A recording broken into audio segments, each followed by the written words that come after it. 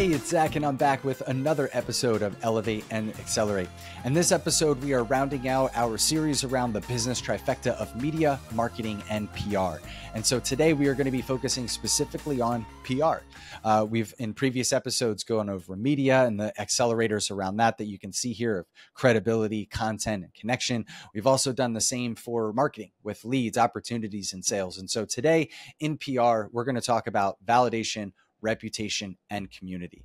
We're going to focus on what PR is and why it matters to you and your business and how it's different uh, from these other uh, channels of media and marketing. But as you can see from this diagram, they do overlap. And so there will be some overlap in this conversation today. But uh, one of the things that I want to talk about before we get any further is really dispelling this idea of what PR is and what PR isn't in my research and studies and conversations with people over the years, I found that most people can't really define what PR is, uh, at least the people that I'm working with and talking to.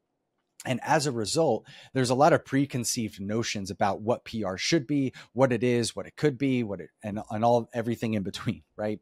And so I want to show you here um, on in doing my research what I came across and and why I think this is uh, often a obstacle or uh, if anything a stumbling block for a lot of people who are looking for media opportunities and what they're doing to help grow their business. So first and foremost one of the things that I've run into a lot is this idea that PR is earned media while advertising is paid media. In other words, advertising is what you pay for and PR is what you pray for. Now, I'm calling this a myth. Now, the reason why I'm calling this a myth is because I really don't think that there's a uh, a distinct line between what PR is being earned media and advertising being paid media. In my research and, and looking at a lot of these things, some of the largest organizations out there, um, and even in, in experience that I've seen with companies like ESPN, for example, they have a PR department and a marketing department, right? They're very distinct from each other. Whereas marketing and advertising is is really concerned and focusing on short term goals like product promotion and uh, and the selling of of goods or the services or whatever it might be. For for ESPN, it's you know whatever's happening in that moment, whether it's an event or some sort of um, you know uh, TV show or whatever it might be. PR campaigns, on the other hand, seek to achieve more long term goals um, delivering valuable brand information, um, building that sustainable brand image, and promoting the stakeholder loyalty. Right? There's some of these buzzwords that came out in an article that I read on Investopedia, but the idea behind all of it is that you know PR being a separate department within the company, right? Within the company is key here. So the, some of the biggest differences between what advertising and PR is is really between is is what the objective is uh, within the organization. So you look at large companies like Coca-Cola or ESPN or some of these big companies that that we compare to, they have a PR department and they've got a marketing department. And their strategic goals are very different from each other which is why they're separated. Advertising and, and marketing really focuses on those short-term goals of sales and product promotion whereas pr focuses more on the image. It's a long-term goals of building a valuable brand uh, image to the public right? Which brings me to the next part and, and what's going to be important in sort of bringing all this together is what even is the definition of public relations in the first place? If you were to Google it, you're going to find a lot of different uh, definitions of what PR actually is. And I think one of the the simplest ones and the easiest ones that I've been able to find actually comes from the Public Relations Society of America. And they say this Public relations is a strategic commun- communication process that builds mutually beneficial relationships between organizations and their publics. Quite simply, public relations is strategic communication that builds mutually beneficial relationships between organizations and their publics, right? Now, what a lot of people uh, assume when they come into this conversation and, and, many of the conversations that i've had is that public relations is this earned media idea if i'm paying for media if i am if i have to put out dollars in order to get media placements then i'm doing something that's disingenuous uh, disingenuous it is not uh, it's not okay right? Uh, but PR at its core, again, is just strategic communication that results in mutually beneficial relationships. That's what we're talking about here. So you've really only got to ask yourself this question uh, Do you truly believe that you have what it takes to help your clients achieve their goals? And if you do, is what you're charging equal to the value that you're giving? And if it is, or if it's less, or whatever it is, well, then you're building a mutually beneficial relationship. How are you letting them know? How are you communicating to your public in a way that's going to build that mutually beneficial relationship, right? Because at its core, that's what PR is. And if you go back and look at it, in fact, PR was really started and used to manipulate, specifically manipulate public opinion around something, right? Um, there's uh, there's Ivy Lee, right? Um, one of the first uh, public relations people uh, to be credited with this type of approach, uh, did the very thing for John D. Rockefeller. He was hired, right, paid by the richest man in the world at the time, John D. Rockefeller, to help change Rockefeller's public image from a vilified oil baron, uh, oil baron to a well loved philanthropist. And it worked right? Uh, there's so many different stories of people who used public relations to manipulate public opinion about a particular product, right? Um, and so, what I want to get you back to is as a small to medium business owner, how do you incorporate this idea of public relations into your branding and into your business? Now, one of the biggest distinctions that I found that I think is really helpful in understanding what exactly is going on here is what a lot of people are talking about uh, in in this earned media idea is that they do something really good local media channels find out about it then they want to cover this person or this organization because of the impact that they're having either in the community or in individuals or whatever it might be. That's the earned type of media, right? That's publicity. And so there's a difference between PR, public relations, which is a relationship to your public, and publicity, which is that earned media right? And so public relations in and of itself is very, very different uh, than what we're talking about when it comes to publicity, which would be like a viral post, for example. Um, now, does it mean that the only type of social media that you should be doing is viral posting that other people are going to share? Uh, no, not at all, because it's a way for you to communicate with your audience and it's a strategic platform for you to have strategic communications with them. And that's really at its core what PR is all about. Now, as you build your brand and as you are seen and, and are delivering as an expert in your field, local media channels and some of these other things will catch wind of that and, and bring you on as an expert. It's happened to many of our clients or quote you in the articles and different things like that. So, um, so there is an earned aspect of this uh, that can play into it. But anyway, getting back to the topic at hand and what we talk about specifically here at Celebrity Branding Agency and what I teach on with PR is that it's a whole lot more than just this. So right now, when we're talking about public relations, and that's a feature in, in local news channels, or or maybe you get quoted in a in a magazine article or something along those lines, um, is really third party validation. Right now, if you remember our model here, we had talked about uh, number one of PR, the first accelerator being validation. Um, and what I like to talk about when I talk about validation is while you have been using a media and you've been using media and your marketing to be able to get your voice out there to show people that you know what you're talking about um, and that you understand and have empathy for what they're going through because of your own story and why you're passionate about helping people and doing what you do. Uh, you can show up authentically in that way. Validation is is helping you to be authenticated right? So you can be authentic without being authenticated. Uh, and that's what uh, the first step of PR is really all about right is giving you that stamp of approval from third party sources uh, and again if you look back at the model here that's that idea of moving from self promoting, where media and marketing together without PR is really just you telling your people about who you are, right? But when you add in this aspect of that third party validation, it's the next step of uh, of moving from a place of being self promoted to being celebrated by your audience and that being shared with others as well. So, um, so validation, right? That's the that's the next step of this, and we've seen it before in media. And when we talked about it, the as seen on and as featured in, right? And we've got people like you know Tony Robbins and Jack Canfield and Brian Tracy and Grant Cardone who are using that type of validation in their marketing and advertising as well. But another part of validation that we're talking about here goes a step further, and it's your clients, right? Um, and it's client stories, which is a distinction that I like to make is very different than, let's say, a testimonial. Where a testimonial would go something along the lines of, uh, you know, I met Zack and uh, he was really professional. Um, he delivered on everything that he said he was going to, and uh, and it was really great working with him. And anybody else that would want to work with him, I highly recommend it. Right? That's a testimonial. A story would be something very different. A story actually has the character and the tension, and then the resolution right?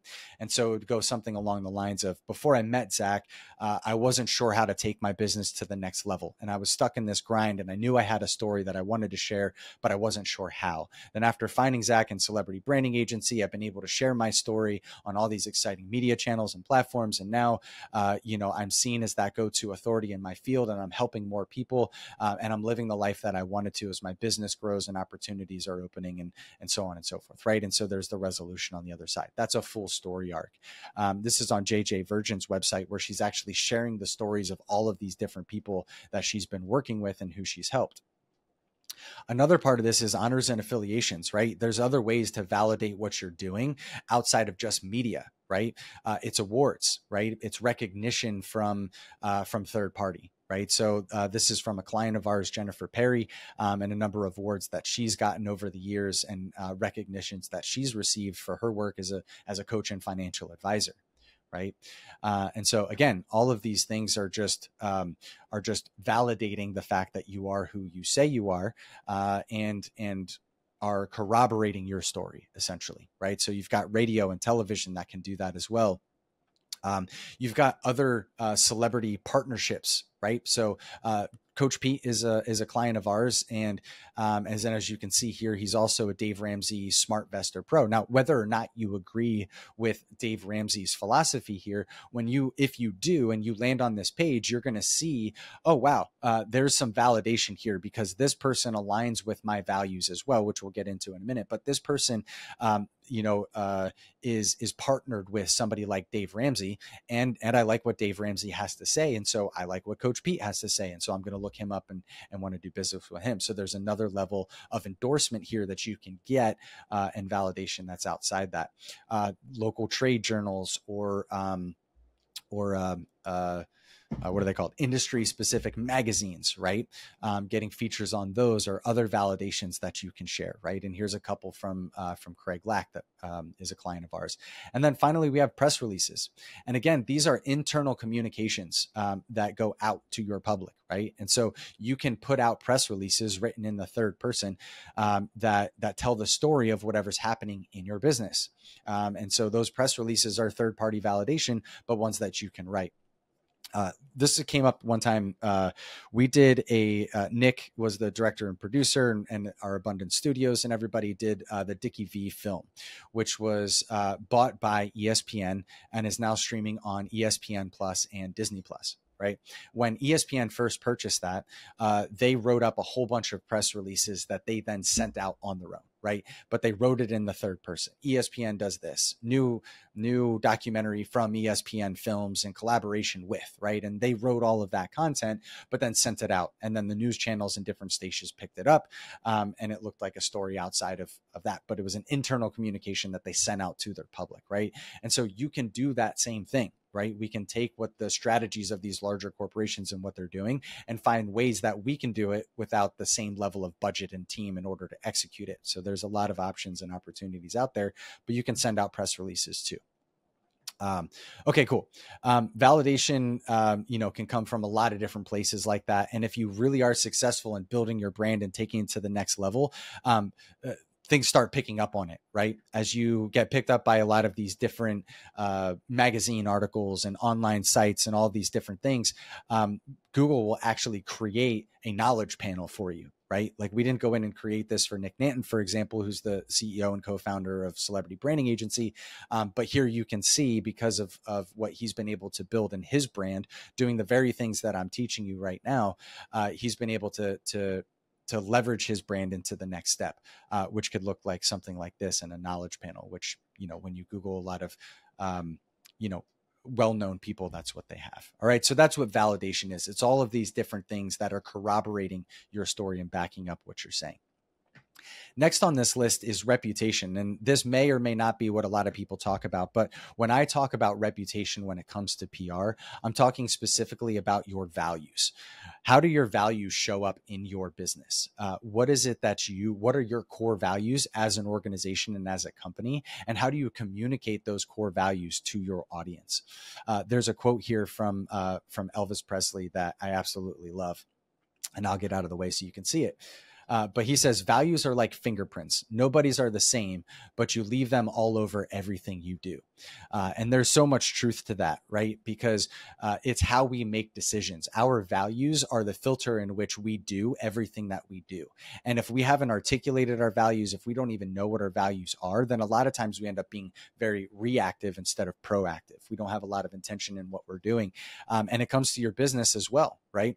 Um, there's probably a set of core values that you have and how you make de- uh, decisions um, right now and maybe you've never written them out but what you've noticed and what you probably run into a lot of times then is is uh, the way in which you would deliver results to your clients for example if you hire a new team member they have a different set of values. And if you haven't articulated what your values are they're going to handle that client or those operational systems very differently than you did right? Because it's going to be aligned with their values and they're going to make decisions based on their values. And so what ends up happening is you've got a team of people all with different values bringing in different ways in which they're making decisions about your business right and if you've got a very if you've got a large team you can see that happening very quickly if you aren't um, if you don't have the whole, whole company aligned on what your values are Patrick Lencioni uh, does a great job of talking about what these different types of values are. And so I'll just give you a quick summary uh, of those things. So uh, he talks about there being core values, aspirational values, permission to play values, and accidental values. Okay. So the core values are uh, are these are values that guide all of your actions, right? These are the ones that we were just talking about, and they're the values that truly make you an individual, right? This is what sets you apart, and what you're willing to say is going to set your business apart. Um, aspirational values are really the values that you wish you had, right? Um, they're they're values that you're working towards, but they're not actually in place. So if you've got a bunch of people that show up late um, all the time, and you're saying that one of your core values is punctuality, well, then that's not really a core value. That's an aspirational value that you're going to hold people accountable to, but it's not yet a core value because people aren't following it, right? It's a hope to the permission to play values are self-explanatory, right? These are values that um, that that you're not going to be willing to let slide um, as the situations arise, no matter what. So, for example, uh, a permission to play value would be, you know, you can't steal money out of the cash register, right? Like that's just that's just a given. If you steal, you're going to get fired, right? So that wouldn't really be a core value that you would uh, articulate to your um, to your team. It would just be an understanding just to get hired in the first place, um, and probably something that you cover in that you know initial stages of, of hiring and uh, and onboarding. Right, these are the things that you do and don't do. Accidental values are probably the most challenging ones, and these are the ones that if you don't have core values that are clearly articulated to your team, um, are gonna are gonna arise. Right, these are the values that are determined by the people that you're working with, um, and and they're ones that are being um, grown out of the values of the people that you have hired and they're not necessarily ones that you're cultivating or even recognizing as an organization right? Um, and so there may be uh, there may be a team who deals with customer service for example and you may have a value of the customer is always right. Um, and your manager over top of your customer service team may have the value of you know the customer isn't always right right? So they're again they're just opposed to each other right there. Um, and so how that manager is going to train your team and how they they handle customer service situations may be different than than how you would do that right? Um, but without articulating that core value, then uh, then that's an accidental value that gets worked in, where managers bring in their own values that may not be aligned with your core values or with the organization's core values, um, and then it, be it gets trained into uh, into the team. Same thing's true if you have a toxic manager, right? Uh, where maybe they don't have a, a value of uh, of back channeling and dissension and and undermining and all that kind of stuff. But if that's how they act and that's how they um, and that's what they bring into the environment, um, then the people that they hire and the people that they train are going to be into that environment. And either they like it um, and they become a part of it, or they don't and they end up leaving, and you leave good talent that way. You lose good talent that way too. So having your values and sharing your values is extremely important. Um, now I know I'm spending a lot of time on this, but um, this last part that I want to share you about these values is is why it's so important is that it actually impacts your bottom line right? So this was a study done by Accenture Strategy um, some time ago. I've, I've, been using it for a couple years now, so I'm not sure the date on it, but it still applies in that they did a, uh, a study over a 12 year period um, of comparing these organizations, and as you can see from the results that I have up on your screen here, um, is that the pe- the brands with a high sense of purpose, who really articulated uh, their values to their audience and what they were doing and why they were doing it, increased in value by 175%, which is nearly double than the comparable median growth rate. Right. So other businesses who who weren't really um, known to have a high sense of purpose. They weren't seen that way by their audience, uh, did not grow as quickly and as much over that 12 year period. Now, as I get myself out of the way here, you can see that more than half of people um, are are looking consumers specifically are looking for goods and services from companies that reflect their personal values and beliefs as you can see in the top left here that that believe that they are um, sharing their their authentic selves um, that they're being transparent about you know who they are and why they do what they do and where they're sourcing their products from right? 74% the largest number here they really care about that transparency. So how do you do that as a as a small to medium business owner providing a service, right? It's you, right? That's your brand. It's not your product is you.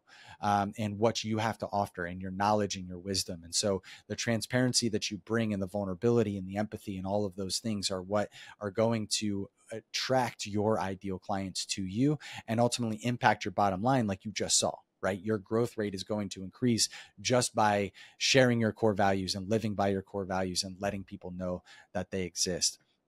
Um, final example here um, as we move into the uh, into the last of the accelerators and close out this episode um, is um, as an example of somebody that I want to share with you. Right, um, I'm probably going to butcher her name, but Marie Forleo. Um, she uh, on her website uh, has her core values um, front and center, right? This is how we roll. And then she goes through all of her different values that she has for her organization. We believe everything is figure outable, which was based on her New York Times best-selling book. Uh, we change lives for a living. We're decidedly not for everybody, right so she's she's doing that takeaway of you know this may not be for you um, we have a zero tolerance for hate and finally we believe in you right? So her five core values are clearly shown right on her website. And what I can tell you is that at the events that she holds where she speaks or where she invites her clients or anything like that, her team knows that they are going to filter through every decision that they make through those values, right? Um, is this is what how we're currently conducting ourselves showing that we believe in you uh, are we showing that we have zero tolerance for hate in this um, in this moment uh, are we are we saying that we have uh, we're decidedly not for everybody or are we taking on everyone right? Um, and so all of the these core values as a filter for her business also help her team to make good decisions about the type of people that they work with how they serve those people um, and what they're looking for. And she as a result has been able to build an amazing community of like-minded people. Same thing with jack canfield and others like that which brings me to the third and final part of this PR and the accelerators, which is the community.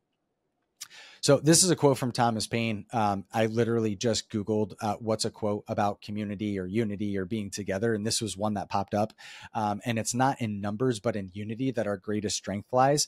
Um, and I was like, wow, that sounds really cool. And so I used it, but I took some time to kind of dig in a little bit deeper on who this guy Thomas Paine really was. Um, and so that quote was referring to the revolution, um, you know, and uh, was pre-Revolutionary War, um, and in fact was even writing against uh, the African slave trade back in the late 1700s. Um, and so he wrote a paper called Common Sense, which was the framework for the Declaration of Independence, uh, and so on and so forth, right? And so when he was talking about there's, it's not in our numbers, but in our unity that our greatest strength lies, um, he really had some um, some awesome and interesting perspective on that. But this is the idea behind what you're building and what you're doing right? A lot of time we focus on uh, how do we get more people into our fold? How do we attract more people? How do i you know how do i ca- cast this really wide net and get as many people in here as i can? Um, when in reality you're you're actually just looking for a specific group of people um, people that you can serve and that is your community right? But your community extends beyond that. The community is the people that you surround yourself with as well. Are you part of coaching programs? Are you part of a mastermind group? Um, you know are you the smartest person in every room that you go into right? Who's challenging you? Who's helping you be the best version of yourself? And that's your community as well. Um, but the community that you can create uh, is is a community for your clients, for your prospects, right? And there's so many different ways in which you can do that. Um, and your community is what gives you that um, that inspired voice, right? That's what people are are looking for a lot of times, right? We uh, we talked about this when we went through the business trifecta. These three results, right, where you can see these circles overlap. Um, these outcomes are what happens when you're executing well, and one of those you could see the three people kind of all connected. There is that when you incorporate PR into your media and other things, you get an inspired audience, right? These are people that may or may not actually be your client, but are sharing your story and what you do with other people too my wife is a great example of this and i like to use her as an example but uh, she was digesting so much of uh, joe dispenza's information at the time listening to his podcast. I'm pretty sure she did get a book but um, you know reading through that and, and just kind of listening to what he had to share when he was um, uh, on these different programs and, and content uh, channels and things like that. And then was sharing his information with other people right? And telling others like, oh man, you should check out Joe Dispenza and he talks about this and he talks about that and this is really helpful and it's really so like she's out there sharing his story and his information with others, even though she's not technically a client of his, right? And then the people that she shared that with went out and bought his stuff, right? Um, and and purchased a program or, or bought a book or whatever it was and they became clients. And so you know if if joe dispenza or his marketing team was looking at that information he would really have very little idea of where that person came from right? So maybe they maybe they googled him and then pulled up his website and then went to his website. And so from those metrics it looks like they just happened to google joe dispenza not having any idea that the reason why they googled him in the first place was because my wife was advocating for him uh, at that time right? And that's where your brand really starts to precede you. Um, it's also where it becomes very difficult to measure because there's really no way to measure the impact that my wife sharing joe's information with other people has has increased his business even in that little bit right? And how many times has that happened over and over again? And so your community is really an, an, important part of all of this and how you develop it and how you reach out to that community. And again that goes back to the media and the marketing the content the information the sharing the valuable wisdom and so on and so forth. But it can also look like creating a, a facebook group right? You can create a Facebook group for people that's free. It doesn't cost them anything, but they're interested in what you have to say and you share that information. And so and so you you create a group of of clients and maybe prospects or or like-minded people who are just interested in seeing what's going on. Uh, your community could also be your actual community. Who are the people that you support as an organization within your community and neighbors and friends and family members uh, that show that you're giving back to uh, to to your community at large and the people who are making an impact in your communities like nonprofits and things of that nature. Veterans organizations right? And how you share that is important too right? Just saying all the time oh yeah i do this and i do that you know it, would look like self promotion and is self promotion but sharing pictures uh, on your social media putting those pictures on your website. I mean there's a reason why they say pictures say a thousand words and so this is a great opportunity to be able to do that. Uh, and like i said you can create a facebook group you can create a members only group um, where if you uh, if you have people who purchase products from you and services from you uh, like that was jj virgins doing weight loss and fitness um, you know that really lends itself to having a, a wider audience of people who are also also on the same journey. Uh, so maybe creating a, a, community of people who are on the journey with you that you're helping guide them through uh, is a great way to be able to create continuity, um, to make it more sticky, to provide more value, uh, and all those things as well. So uh, hopefully that was helpful. Um, that'll that'll kind of close us out here. But uh, just in summary, if you can see that public relations uh, is a whole lot more than just uh, media placement right? It's more than just publicity. Uh, it's how you communicate to your audience in a way that creates a mutually beneficial relationship. Uh, but it's also your core values. Um, it's what you stand for as a brand and how your reputation reputation then precedes you, um, and and what people can stand on. That you've got integrity. And if you don't know what your core values are, definitely look into that. What is it that you make decisions on? What are the things that annoy you when people don't do it? Um, what are the things that you celebrate when people do do it? And you could probably start figuring out what your values are, um, and then start articulating that. Put it on your website. Share that with the clients in your in your sales call or in prospects in your sales call of what your values are, and make sure that you're training and teaching your team those things as well. And then finally, how are you building and cultivating a community, not only for the people that you're working with or want to be working with, uh, but for yourself as well. Um, how are you being challenged, and, and what are you doing to to grow and build uh, yourself uh, as a person and as a business owner and entrepreneur? Uh, and that's it. That's all I got for you. So as always, hopefully you found this valuable and helpful. Uh, if you did, please like, share, subscribe, so on and so forth. Uh, and I appreciate you joining me today and taking time out of your busy schedule to listen to what I have to say. And until next time, keep elevating and accelerating. Thanks.